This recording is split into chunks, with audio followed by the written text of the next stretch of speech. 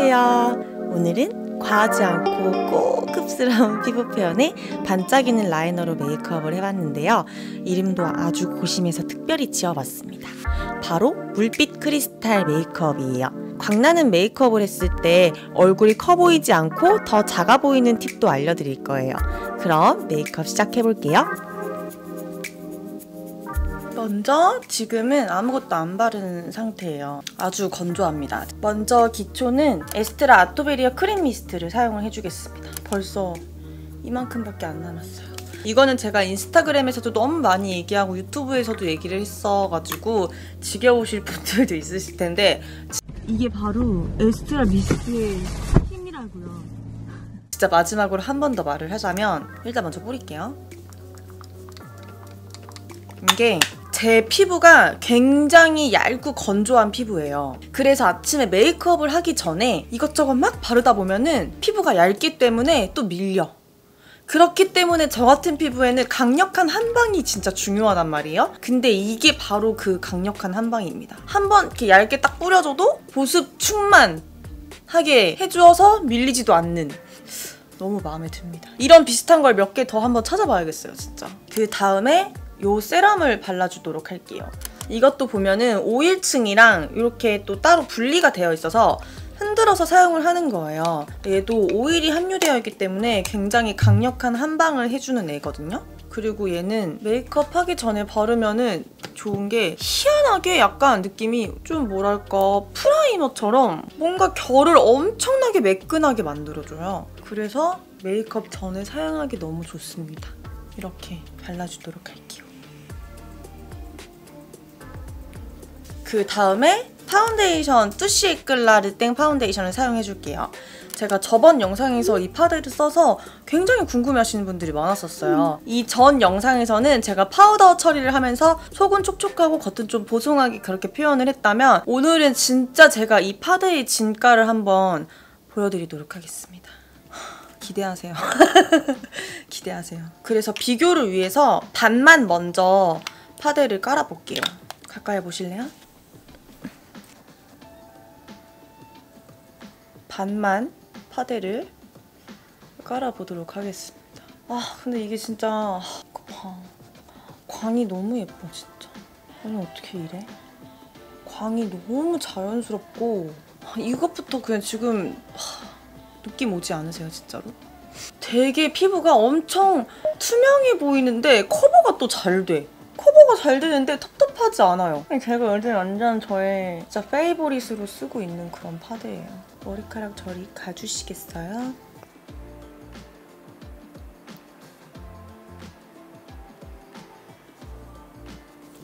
어때요? 진짜 광 예쁘죠? 이렇게 반반 보면은 커버가 진짜 잘 되는데 근데 이게 막 텁텁해 보이지 않고 엄청 투명해 보이는 그런 느낌이 있어요. 너무 피부 표현이 너무 예뻐서 제가 진짜 너무 잘 쓰거든요. 이번에는 스펀지를 사용을 해서 한 번 더 올려볼게요. 제가 조금 빠진 그런 제품들은 친구들한테 영업을 하고 다닌단 말이에요. 제가 이걸 어떻게 설명을 하냐면 스파를 받은 듯한 피부인데 그게 약간 뭐랄까 이제 갓 스파를 받고 나오는 게 아니라 요즘 스파를 받고 나오는 듯한 그런 피부 표현이에요. 그러니까 피부가 엄청 좋아 보인다고요. 그래서 제가 이거 주변에서 영업 엄청 하고 다니거든요. 너무 예뻐. 이렇게 해줍니다.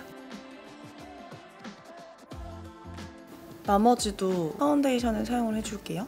음, 진짜 이게 Teint 크림이잖아요. 그래서 느껴지는 것도 커버력은 좋은데 하나도 안 무겁거든요. 진짜 크림 바른 것 같지? 근데 또 커버력이 좋아. 아, 제가 제가 이렇게 주근깨가 많고 그렇다 보니까 커버력을 조금 신경을 많이 쓰거든요. 그래서 제가 더 좋아하는 것 같아요. 가벼운 피부 표현에 그렇지 않은 커버력. 블랙핑크다. 하여튼 그렇습니다.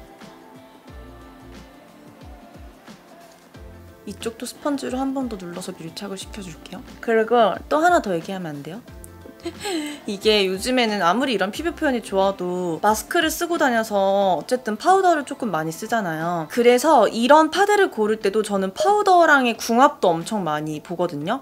왜냐면은 너무 묽고 너무 물광물광한 파운데이션은 가끔 파우더를 탁 얹었을 때 되게 뭉치는 경우가 많아요. 근데 이 전 영상에서도 제가 보여드렸지만 이거는 파우더랑도 조합이 좋고 얘 자체도 또 촉촉하기 때문에 진짜 안은 촉촉하고 겉은 뽀송하게 그렇게 표현하기가 너무 좋았어요. 부착을 좀 정성스럽게 해주겠습니다. 일단 지금은 커버를 이렇게만 할 건데 나중에 혹시 보고 조금 더 glow가 올라왔으면 하는 부분에는 한 번 더 커버를 해줄 거예요. 이 다음으로는 이 빛이 좀 강조된 이런 메이크업을 할 때 두 번째로 중요한 게 저는 그림자라고 생각을 해요. 이렇게 광나는 피부를 하면은 자칫 얼굴이 되게 커 보일 수가 있거든요. 왜냐면 진짜 광이 뿜뿜뿜뿜 하니까. 그래서 그림자를 정말 신경을 많이 써줘야 됩니다. 일단 이 다음에는 파우더를 사용을 해줄 건데요. 파우더를 아낌없이 이렇게 shading을 넣을 부분에 광을 확 죽여줘야 돼요. 이런 부분에는 shading을 넣잖아요. 진짜 이번에는 과감하게 광을 없애줘야 됩니다. 왜냐면 여기까지 광이 뿜뿜할 필요는 없어요. 이런 부분에 파우더를 해주고 남은 걸로 살짝 아주 살짝 스쳐 지나가만 주는 거예요. 이렇게 해주고 이런 브러쉬를 사용을 해서 이 부분에도 이제 우리가 코 shading을 넣어주잖아요. 그리고 섀도우도 이렇게 올릴 거고 눈두덩의 유분이랑 이 코 shading 넣는 부분에도 광을 확 잡아줍니다. 그래야 이목구비는 또렷하고 광은 나면서 더 얼굴이 작아 보이게 할 수 있어요. 그 다음에 눈썹을 그려줄게요. 제가 오늘은 금발을 했는데 그런 눈썹을 좀 잡아줘야 되잖아요. 일단 되게 옅은 컬러로 모양만 살짝 잡아줄게요. 그 다음에 brow 마스카라를 사용을 해서 눈썹 컬러를 살짝 밝혀주겠습니다.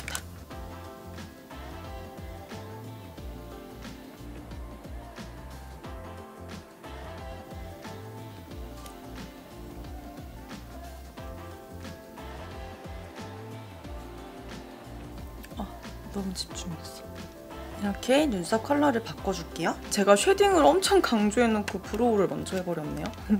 오늘은 이 두 개 확실하게 채도가 없는 걸로 shading을 해주도록 하겠습니다.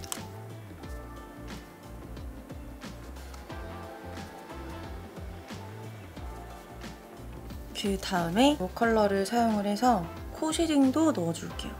이것도 중요한 게 특히나 더 전체적으로 좀 광이 번떡번떡하게 나는 그런 메이크업이기 때문에 이런 음영이 정말 중요해요.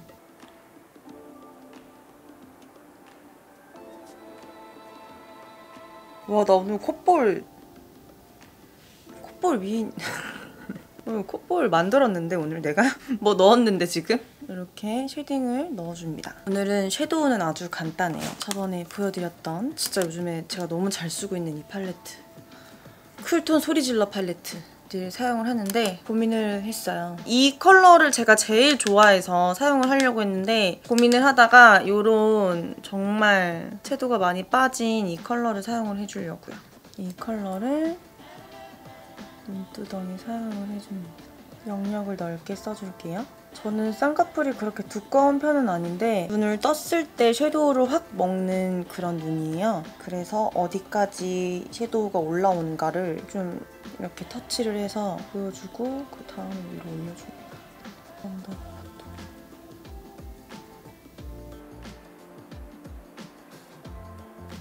여기 삼각존 음영에서 애교살 밑에 음영까지 자연스럽게 이어지게 해줄게요. 이렇게 음영을 넣어줄게요. 나머지 부분도 해줄게요. 어, 근데 진짜 이 컬러도 너무 예쁘다.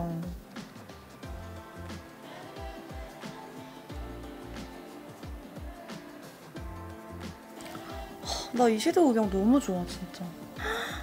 나 이 팔레트에서 이게 저의 최애였는데 이걸로 바꿀래요. 싹 빠진 게 아주 마음에 드네요. 싹 했을 때 너무 아저씨 소리 났나? 그 다음에 아이라인을 뺄 건데 어떻게 뺄지 살짝 더 어두운 섀도우로 어, 길을 좀 잡아둘게요. 어떻게 아이라인을 뺄 것인가. 이렇게 뺄 것 같아요. 음. 그 다음에 펜 라인으로 라인을 그려줄게요.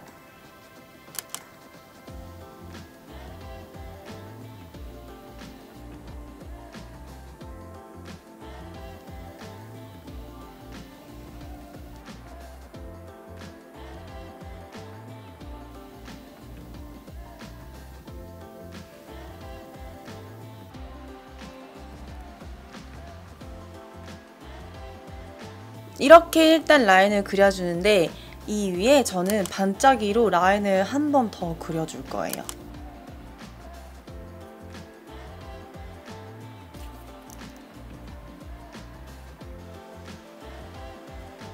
그 다음에 알려줄게요.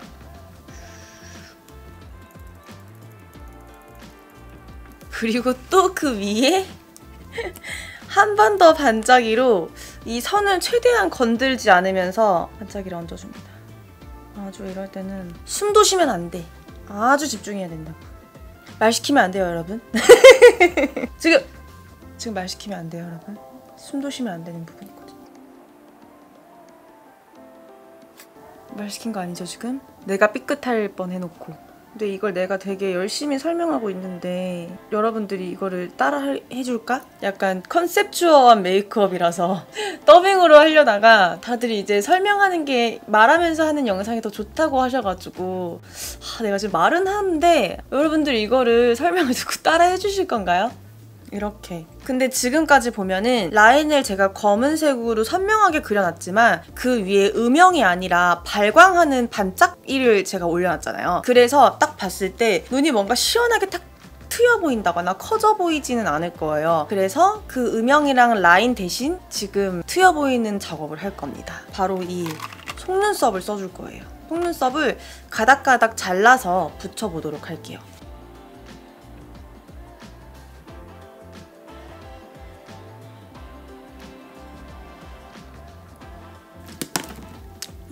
이쪽도 이렇게 속눈썹을 붙여서 그나마 조금 눈이 트여 보이도록 할 거야. 할 거야. 헉, 반말 겟레디가 아닌데 어머 할 거예요. 그러면 뷰러도 해줄게요. 뷰러를 바싹바싹 해줍니다. 오, 나 근데 이 메이크업 좋아. 유후! 와우, 나 완전 마음에 드는데? 다음에 마스카라도 해줘서 완전 마스카라는 이 가운데 부분을 위주로 조금 올려줄게요. 좋아 좋아 좋아 좋아 잘한다 잘한다. 그 다음에 언더. 언더는 제가 짜- 따로 속눈썹을 안 붙일 거기 때문에 픽서로 먼저 한 번 더 내려주고 그 다음에 마스카라를 해줄게요.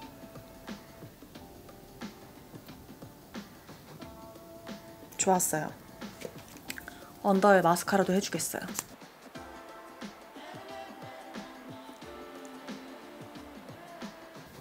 좋아 좋아 좋아 좋아 이렇게 해주고 아, 지금 뭐 하려고 그랬지? 까먹었어.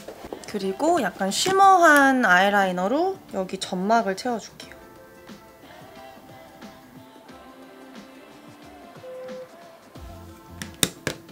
그 다음에 파운데이션을 한 번 더 사용을 해줄 건데요. 오늘은 하이라이터는 따로 안 쓰고 이 파운데이션으로 광을 조금 더 중앙에 줘가지고 이렇게 좀 더 layering을 해서 하이라이터를 해주고 싶어요.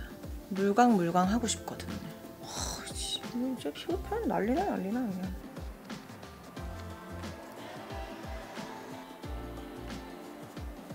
그 다음 블러셔를 고민을 했는데요. 제가 오늘 사용할 립을 블러셔로도 사용을 해줄게요. 손등에 살짝 덜어서 이 둥근 스펀지 뒷면을 사용을 해서 쉐딩으로부터 살짝 나오는 느낌으로 살짝만 저는 오늘 사실 블러셔 안 해주려고 그랬거든요.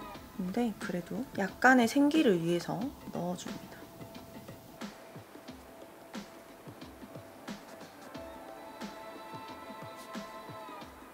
입술은 약간 장미 컬러를 안쪽에 해서 발라줄 거예요.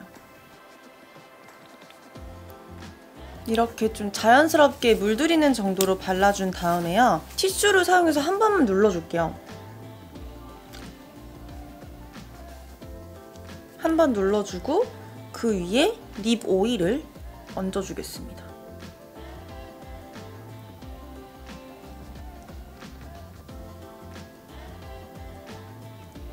이렇게. 그 다음 여기서 멈추면 아쉬우니까 반짝이들을 얼굴에 조금 붙여줄게요.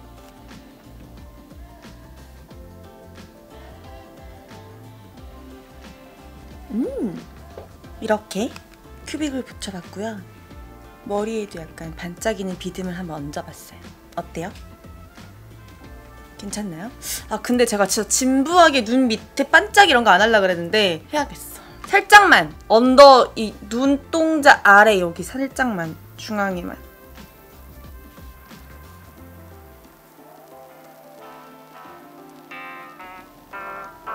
역시 하는 게 낫네. 그럼 완성컷을 한번 달려볼까?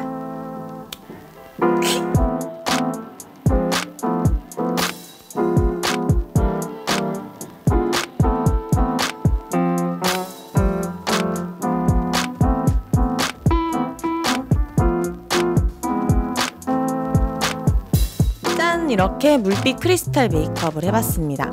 피부 강이 부담스럽지 않고 은은해서 고급스러운 느낌이 나고 전체적으로 강나고 윤기 나는 피부 표현이지만 얼굴은 더 작아 보이는 그런 느낌이 있는 것 같아요.